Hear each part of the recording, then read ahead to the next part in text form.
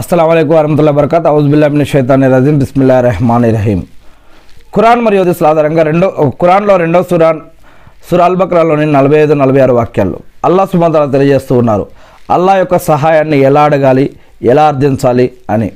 ఎవరైనా సరే అది ఒక ఇమాం అయినా ఒక నా ఒక మౌల్వి అయినా ముఫ్తీ అయినా ఒక పేదవాడైనా ధనికుడైనా ఎవరైనా సరే అల్లాని సహాయాన్ని ఎవరైనా అల్లాని అడగొచ్చు. అది ఎలా అనేది అల్లా చెప్తూ ఉన్నారు ఈ యొక్క వాక్యంలో.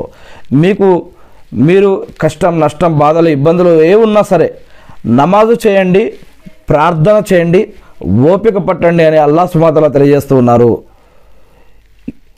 మరి ఇంకెవరైనా బాబాల దగ్గరికి సమాధుల దగ్గరికి తావీదుల దగ్గరికి వెళ్ళి అల్లా యొక్క సహాయం అడగాల అంటే ఖురాన్లో మనకి ఎక్కడా లభించదు. అల్లా కు- చెప్తూ ఉన్నారు కేవలం నమాజు చేయండి ప్రార్థన చేయండి ఓపిక పట్టండి అంటున్నారు. ఇంకా వీలైతే హజ్జుమ్రాలు కానీ సతకా ఖైరాతులు కానీ జకాతులు కానీ చేసుకోవచ్చు. కానీ ముఖ్యంగానైతే నమాజు చేసి ఓపిక పట్టమని చెప్తూ ఉన్నారు అల్లా సుబానతాల అదే వాక్యాన్ని ఇక్కడ నలభై ఐదు సుర నలభై నలభై ఐదు నలభై ఆరు వాక్యాల్లో అల్లా సుబాతల తెలియజేస్తున్నారు రెండవ రెండవ సురాలో. ఏమిటంటే మరియు సహనం మరియు నమాజు ద్వారా అల్లా యొక్క సహాయాన్ని అర్థించండి.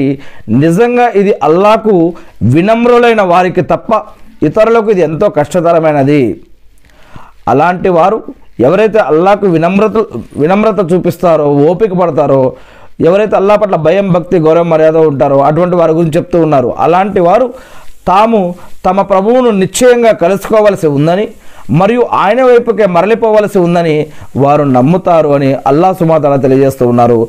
సహనం మరియు నమాజు ద్వారా అల్లా యొక్క సహాయాన్ని అర్థించండి అని అల్లా ఇక్కడ చెప్తూ ఉన్నారు. అల్లాహు అక్బర్. అల్లా మా యొక్క ప్రార్థన స్వీకరించండి వల్ల ఆమెన్.